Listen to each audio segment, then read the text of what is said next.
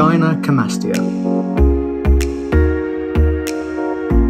Today I want to talk about something that has affected my life uh, since the age of 14. It's affected the way I behave around people, it's affected my clothing choices, um, and it's affected my overall confidence. Uh, and it's also known as man boobs, moobs, or man tees. The growth of larger than normal breast tissue usually happens when there's a imbalance of testosterone and estrogen. Um, and this can occur when certain people hit puberty, when certain people take steroids, and uh, it does happen when become overweight or obese. This all started when I was uh, in puberty, at you know 14 years old, things start changing, start getting hair in places. Uh, you start maybe in my particular case, I'm getting wider before I got taller. Voice started changing, but um, my chest started to get larger as well. So it wasn't just me that noticed this. Obviously, um, when you're in school, when you're getting changed for PE, yeah, generally just taking your shirt off in the you know in the changing rooms it's going to get picked up. It, it, did get picked up to a point where, you know, I, I started getting teased and uh, to a degree bullied. I say bullied, you know, it is kids just noticing something different. Uh, that's the way I see it now, but obviously as a kid, um, it wasn't very nice and, and you know, it, it, did affect my confidence, you know, um, to a point where they would say, Dan, show us your titties. Are you wearing a bra? Um, it, horrible, horrible stuff, uh, you know, I, I think about now. And and that's kind of went on throughout my entire life, actually, not just as a kid, but kind of I started, you know, obviously getting more friends. Um, every single job that I went to, people would notice it. People would say something. It'd be a, a kind of time in my head where I'd be like, right, you know, you get comfortable with someone after the first couple of weeks, they will mention it. It is a, is a fact, all right, because it's different. It's different to what everyone else has.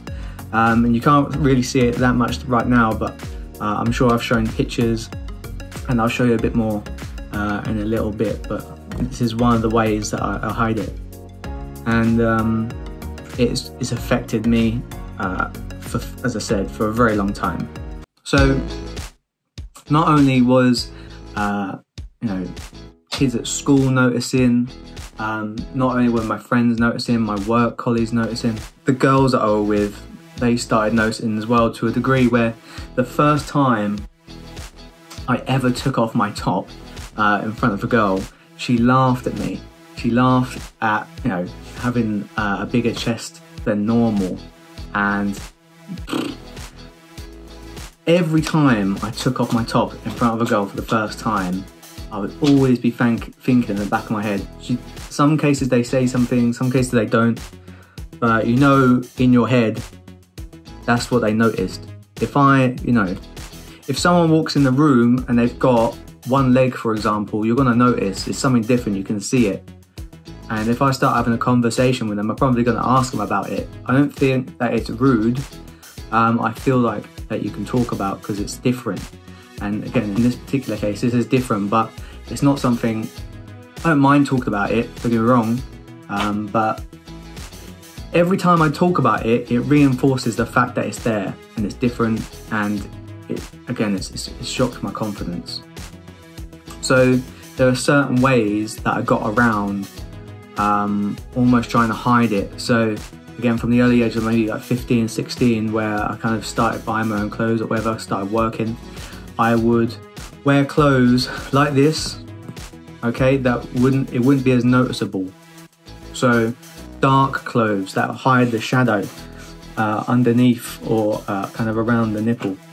Wearing uh, shirts that kind of have uh, open shirts, for example, um, are really good at hiding it.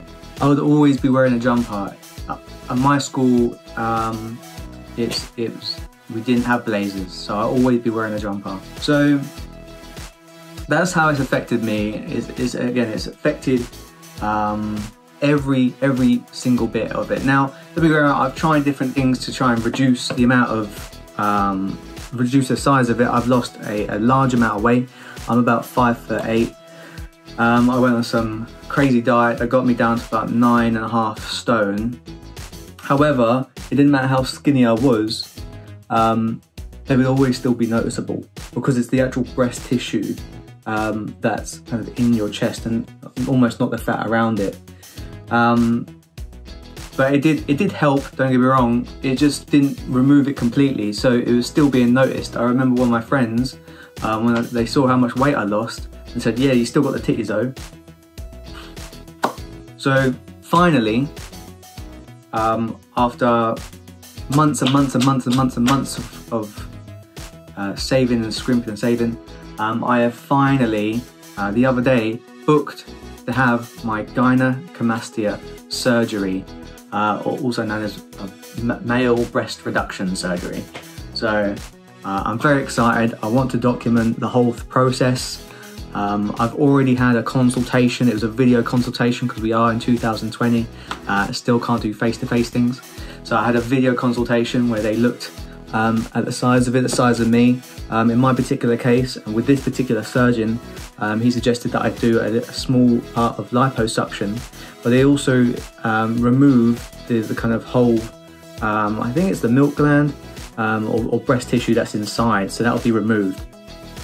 Hopefully, future me is very happy, and I'm looking forward to it. What's up, guys? Um, so I just travelled to Manchester, um, travelled yesterday. Um, it's probably been around close to two months since uh, I did my last video. I did the last video uh, at the beginning of December when I booked the surgery uh, and now it's kind of near the end of January. Um, I think it is today the 21st, 21st of January. Um, so yeah, a bit of time has passed. Um, surgery is today at three o'clock. I have to be there. Um, it's it's only a two-hour long surgery. It's not very long at all. Um, I am able to eat. I've just eaten um, some leftover food that I bought from last night because we're still in COVID. I had to order some pizza, so I had that for uh, this morning for breakfast. So that was very good. Um, it's under general uh, local anaesthetic, so I don't. I'm not going to go under uh, uh, fall asleep during the during the procedure. So I'll be laying on the bed. But yeah, I'm excited. The, this um, particular procedure um, is going to cost me £3,700, um, and that is uh, as of January 2021. It would have been 3,500, but because of the liposuction, uh, they add extra 200 pounds on. That's for stage two, I think, uh, whatever I said it was, stage two. Um, if you're in any of the other stages, if you're a bit bigger and need more liposuction, then it can be more expensive. And likewise, if you're a little bit smaller than I am, uh, then um, it'll obviously be a small bit cheaper.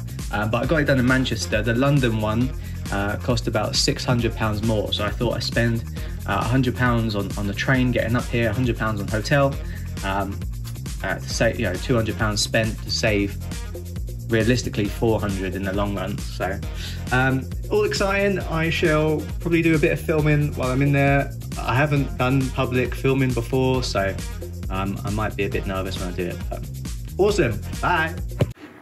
All right, we're here with Daniel Pritchard. we're cleaning him up and getting him ready for his gynecomastia surgery.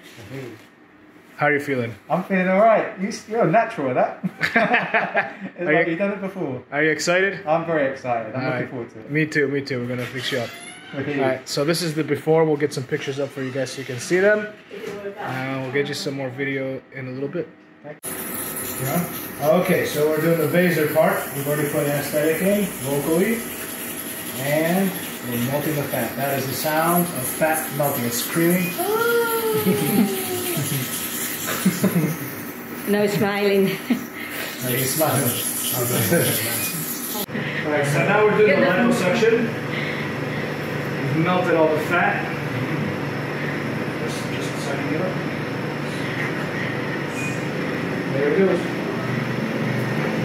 You enjoying yourself? Oh, yeah. There's nothing more fun than this, that's what you just told me. so come on down, we'll get, we'll get you next. Looking forward to the next one. that you're struggling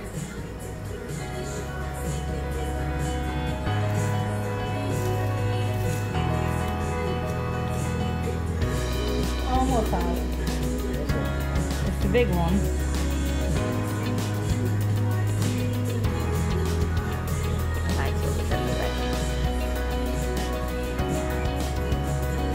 We've done the one side, beautiful, nice and flat chest. And now we're doing the other side. We've already done the light on the laser.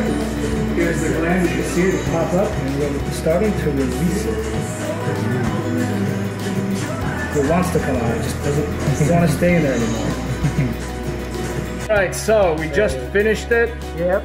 It looks great. Feels great. It was fun, exciting. Woo! He's going to the beach. Yeah. Where are you hitting? Ibiza. Ma- uh, Ma- Magaluf. All right, all right. Magaluf. Magaluf. Gonna be a new person. We capture his youth.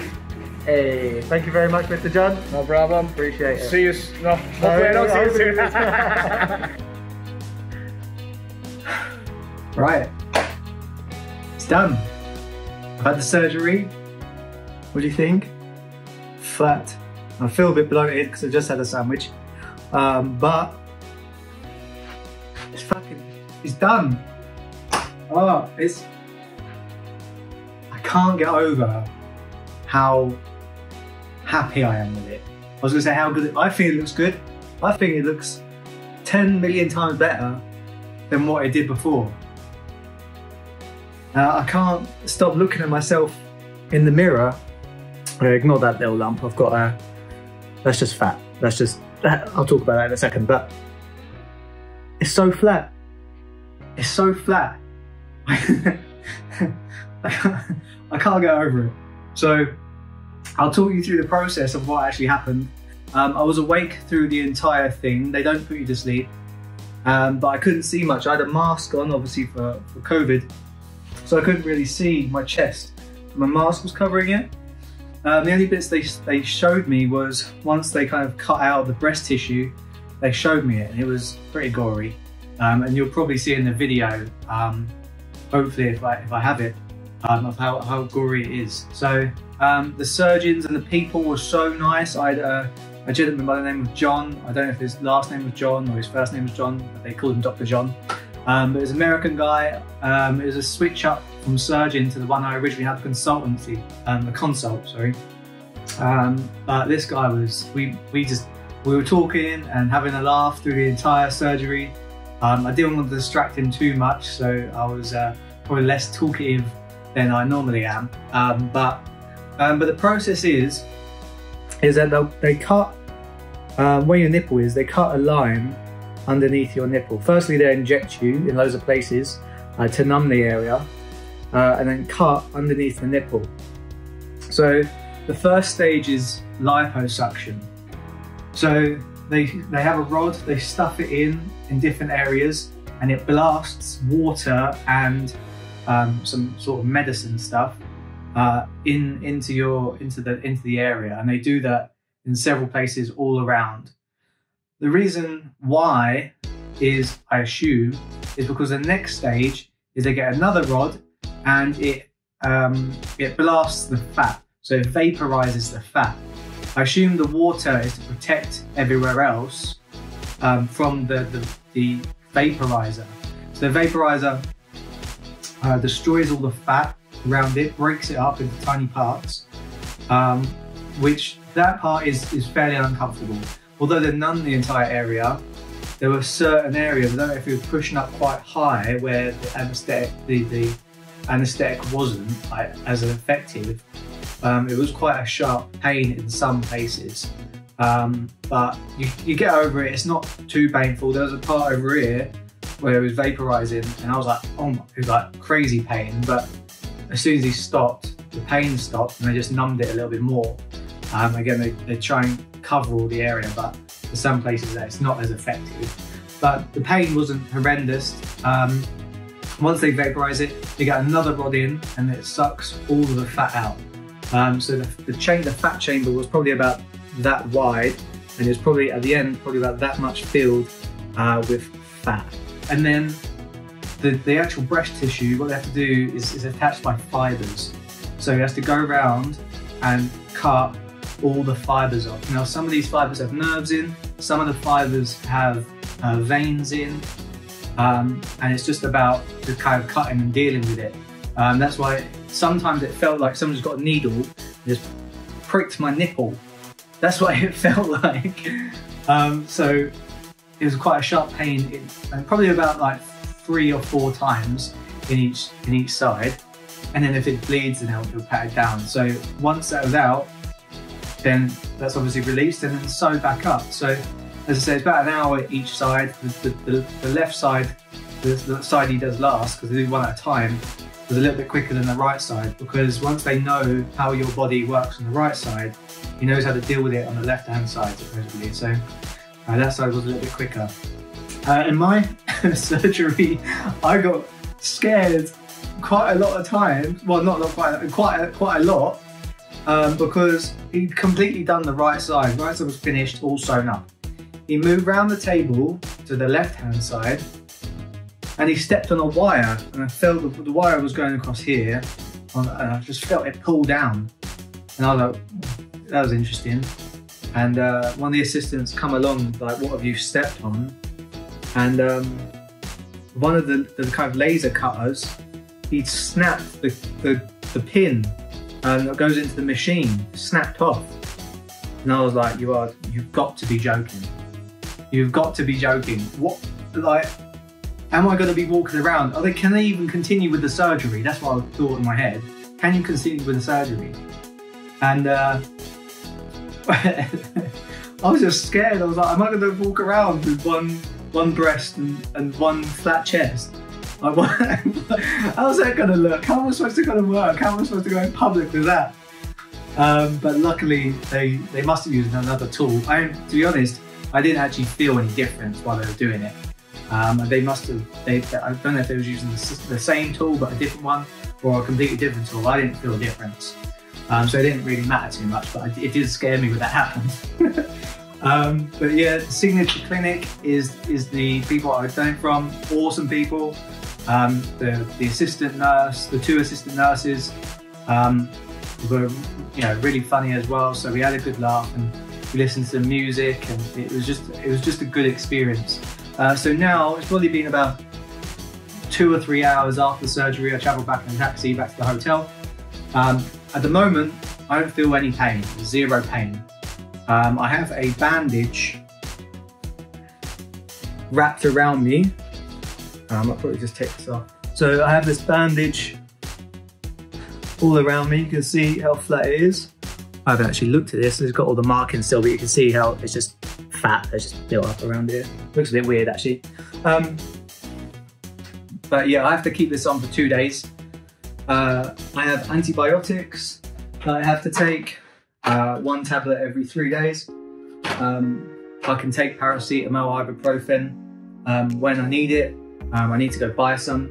Uh, and then once that, I can take that off and put these, remove, I think I have to remove all the bandages and then put new ones on.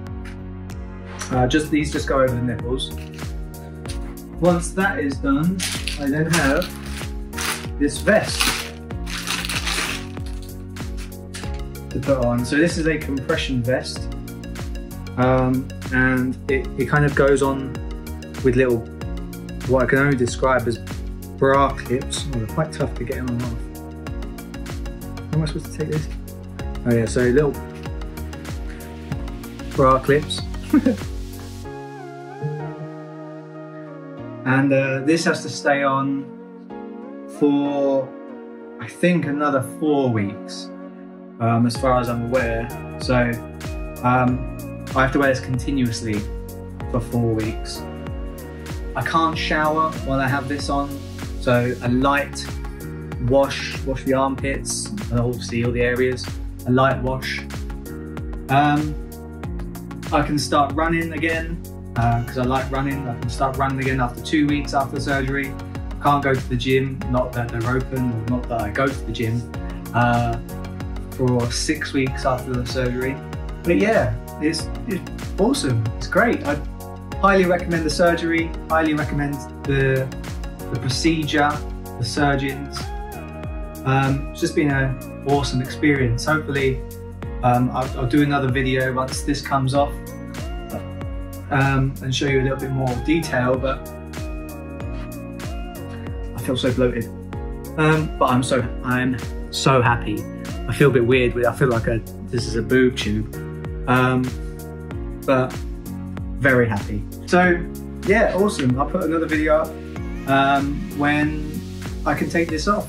All right. Bye. Right. Okay.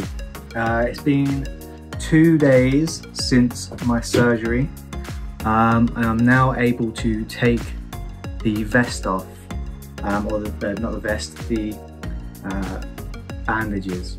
So uh, I thought I'd do it on camera. This is probably going to be the last segment that I do. Have a good look at it um, before I end the video. So again, um, I can't, I don't have an excuse for the big belly, I just need to lose some weight now. Um, but yes, this is what it's like now. And uh,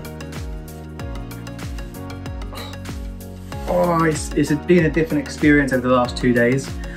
Um, you can see some bruising here, some bruising here. To be honest, this has been uh, rough, uh, just kind of rubbing up and down my skin, to be honest. Um, I am expecting bruising underneath. Um, obviously, there's a lot of prodding going along, a lot of burning, so I would imagine there will be bruising under this. Uh, so I'm not looking it to be pretty, um, but the sleep, I've had, you had to sleep upright, um, which has been uncomfortable, and uh, I've had a lot, it's been really sore you can sort of see a red line there. It's been really sore there. So I'm actually looking forward to getting this off. Um, not sure how I do it. I think, is there a band on somewhere? I'll cut uh, to where um, I think I know how to get this off. Oh. Oh.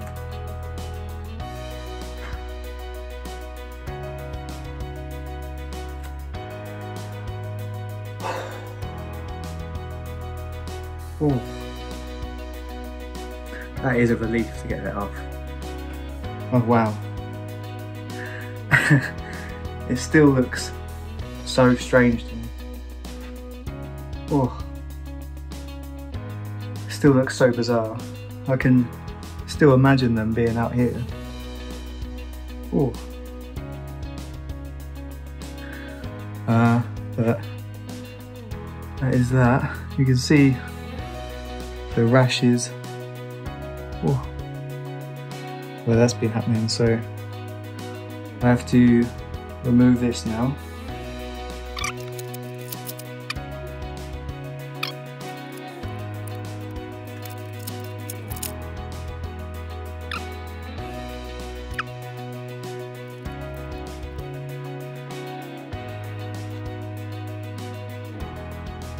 Oh, I still feel strange feels very strange. Um, I want to put my vest on straight away because it feels so bizarre. Um, but yeah, wow. I mean, you can see you can see all the bruising that's been happening. Right, that's on the tightest one. So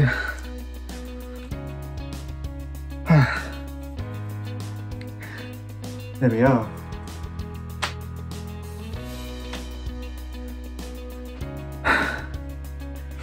It's on the tightest one, it's compressed. To me, it feels like this is down more than this one was. Um, I don't know. I know he took more out of this one, so I'm only hoping that he did look around there quite a lot. So I don't know if it's normal to have one slightly larger than the other, um, especially at this early stage. I still have obviously four weeks to fully recover. So, uh,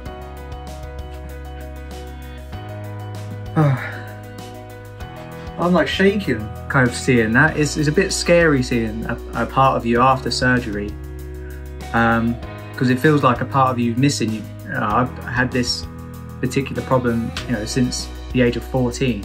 So feeling, knowing that a part of me is now being incinerated up in Manchester and is not there anymore. It's, it's bizarre. Um, it's weird taking off the plasters. I didn't feel like I had much feeling there, but I don't know if I was just shaking because of it. Um, yeah, it's all interesting. I'm actually eager to get this video out, um, to be honest. Uh, and you know, I, I don't want to wait another six weeks to, to put up video, another video. So if you found this interesting, um, then feel free to subscribe. I'm not a YouTuber by any stretch of the imagination, but I want to get this video out um, because it's, it's, I just want to share my story and share the experience. Um, if, if I get enough people uh, that have enjoyed this particular content, um, then I can put up a recap video of once it's all healed, showing all, all the kind of normality of it afterwards.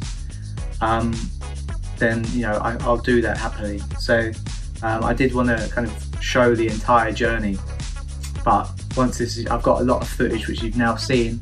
I'm just excited to get that out in uh, out into the world. So to recap over the whole video, um, if you have this particular problem, try go to the gym, try lose some weight, try eat healthier, try and try and lose it as much as you can. If it's the puffy nipples that are affecting you, then by all means, you know, go, go get the surgery. It, it's something that I wish I'd done earlier. I wish I'd done it in, you know, my early 20s. Um, if you're in your teens or just coming into your 20s, a lot of gynecomastia, once if it comes into during puberty, can go before the age of 25 because it's a hormone imbalance. Once your hormones level out, maybe in your later years, if you're uh, a late bloomer, for example, it can kind of disappear and, and sort itself out. Um, however, the, the, surgeon said if you're over the age of 25 and it's still there, it's probably going to stay with you for, life, um, potentially. So, hey, look, I'm not a professional, I'm not a surgeon, I'm not a doctor. Um, if you have any concerns about your body or anything that I talked about within this video, go seek professional advice. Do not take my word for gospel. This is just what I uh, picked up along the way. So um, yes, thank you very much for watching and uh, I'll do a little montage I guess. Cheers, bye.